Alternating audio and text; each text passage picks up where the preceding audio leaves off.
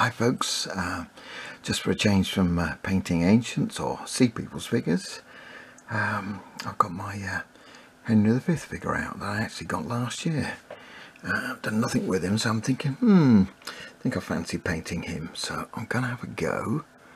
Not sure how I'll get on because of all the surcoat stuff, but I'll have a try.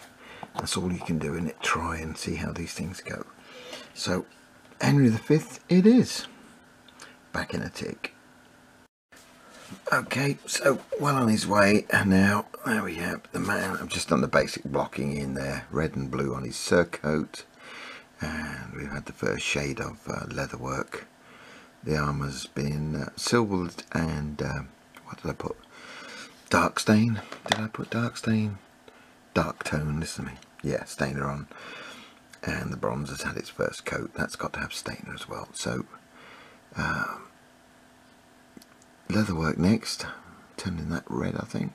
Um, as yeah as the horse horse is finished it's a bit shiny it's got to be matted down. Um, the red leatherwork's had all its uh, it's all its bits on it yeah. Eyes are done nays nasal and blaze are done and the hoofs sorry fetlocks are done. Finito right. So it's carry on with the king.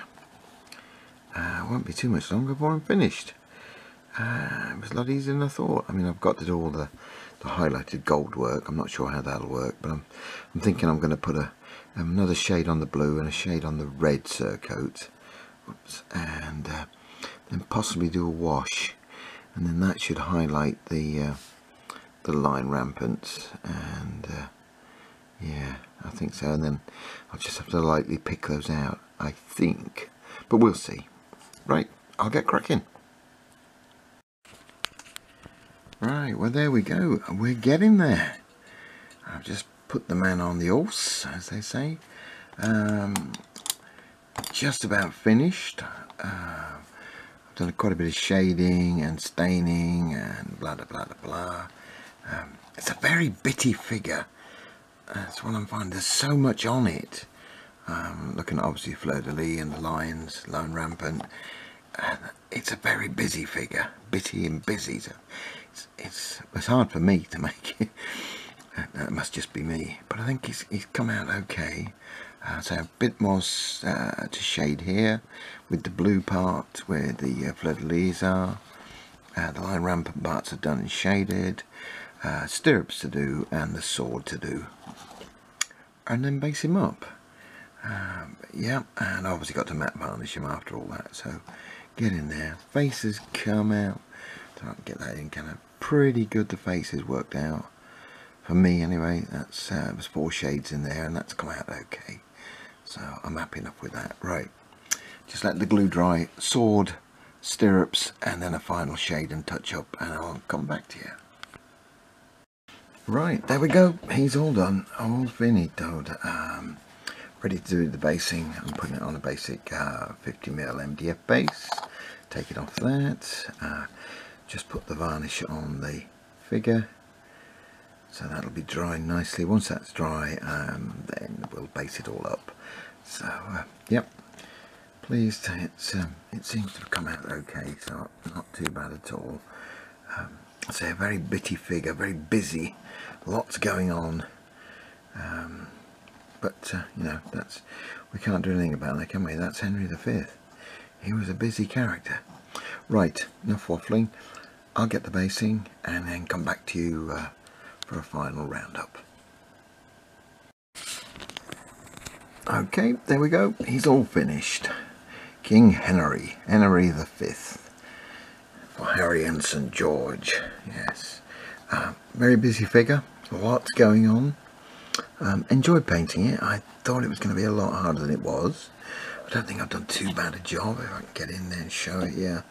The um, obviously the fleur-de-lis and the lion rampant are actually cast on, so you only have to sort of tickle over the tops to uh, pick out those. Um, and I picked them out as best I could. I think the moulds are probably getting a bit worn. Uh, some of the fleur-de-lis are not wonderful, uh, but you can only paint what there is. So, yeah, well pleased with him. Uh, yeah, base, standard basing, uh, brown, dry brush and flock, and some tubs. There is the man. So I'll put some stills at the end for you to have a look at. Uh, yeah, there he is. If the face showed as the face show, possibly yeah. Right. Thanks for watching, and uh, bye for now. This day is called the Feast of Crispian.